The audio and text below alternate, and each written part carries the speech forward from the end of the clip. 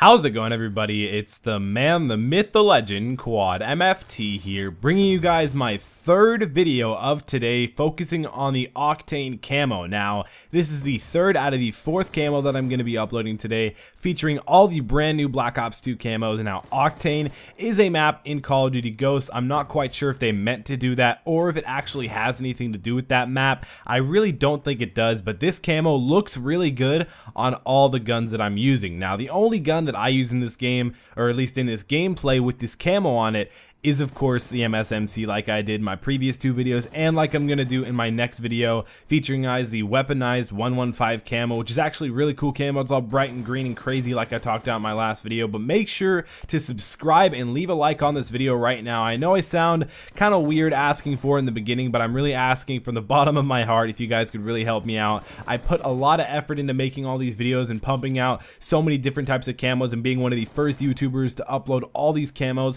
and be able to tell you guys really what they're about. But comment down below. Tell me right now. Comment down below. Are you guys going to be buying the Octane camo? What do you think it looks like? I personally, of course, I bought it just much like I just much like I bought all the other camos. So I think it's a pretty good one you know, no matter what camo that any form of Call of Duty or Activision is going to be putting out, I'm going to buy it just because I'm a huge Call of Duty fanboy and I love feeding them money. But I really do like this camo. Octane, it's cool. I think they they probably should have came up with a different name just because, you know, that's a map in Call of Duty Ghost, the main Call of Duty right now. But, you know, I'm fine with it. It doesn't really affect anything. Again, comment down below whether you guys are going to get this or not. Hopefully you guys did enjoy this video. Make sure to stay tuned and subscribe for another camo video that's going to be coming out in about an hour and an hour and a half if you watch this video right when it came out. Make sure to check out all my social media links down in the description below. Again, don't forget to drop shot that like button down below. It really does help me out. It's been Quad MFT, and I'll be seeing you guys in the next camo video.